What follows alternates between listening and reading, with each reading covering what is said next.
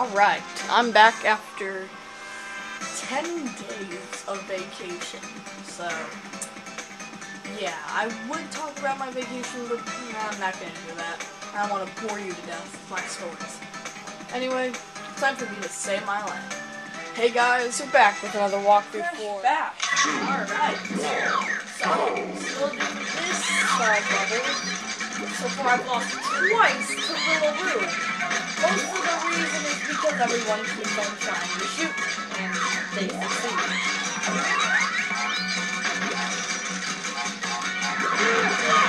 Ah!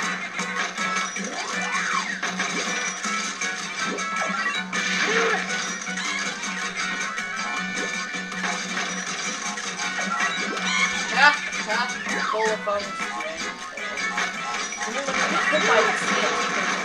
really weird, really, ah!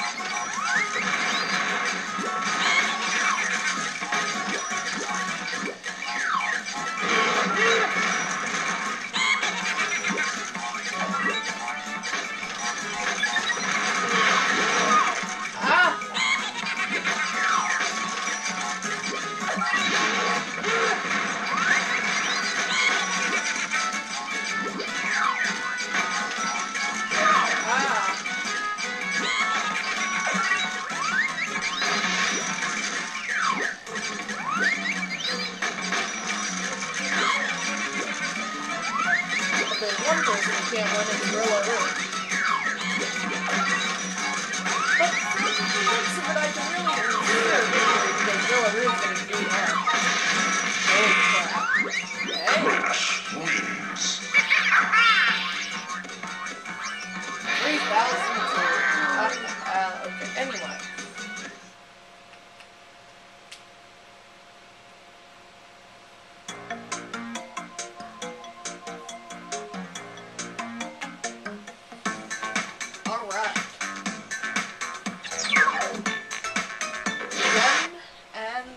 crystal. You might think this is going to be very challenging, considering the fact that like basically everything in Warp Room 3 was challenging so far. Well, guess what? The crystal is actually one of my personal. Three, two, I think it's easy. go. Now, I don't know what you might think of it, but whatever you think of it, just remember, this definitely is watch this video and hope that I show what you want me to show. The crystal is a little bit challenging at first, because it's the first time it's actually introduced with someone actually you know, terrorizing the field, spreading it with all these TNT bombs. The crystal is kind of like that, except he doesn't spread TNT crates. He spreads nitro. Nitro. As in, very bad. The very bad stuff that makes it go boom automatically. Wait, what? Oh, come on, Protocol. Did you really? I called him, I called him, I called him, I called him, I called him. Oh my god, you kidding me,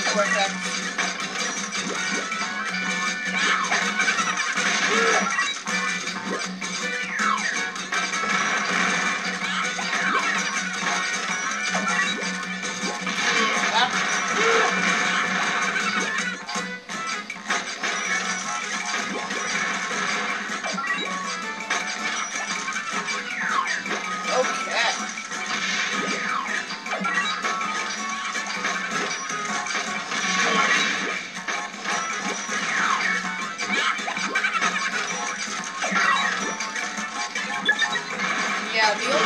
I don't like about this worker is all of the gems. I mean, the only crystal that was really a challenge for me was the Emeraldism.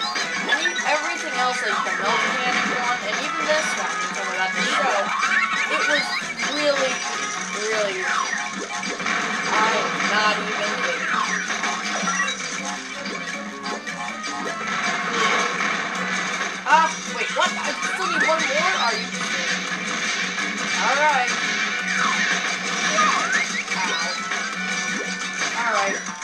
You win.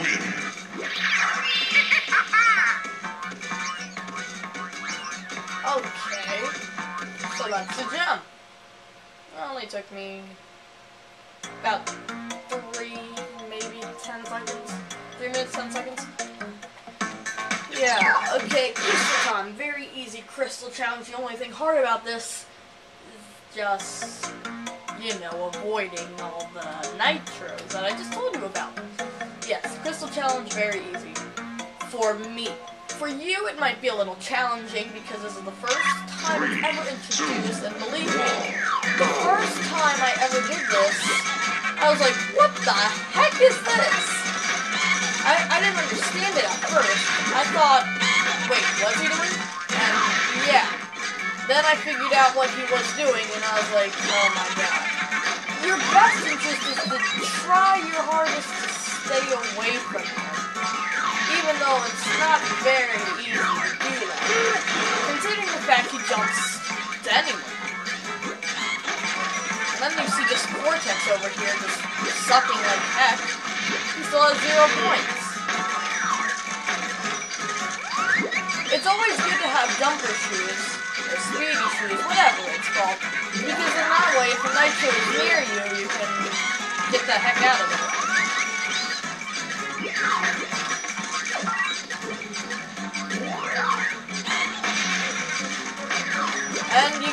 Of to hope that you don't get trapped behind someone. Now the nitros do also affect the opponents here. When they blow up, basically they kind of get rattled for a few seconds. But basically that's it. You die if you get hurt.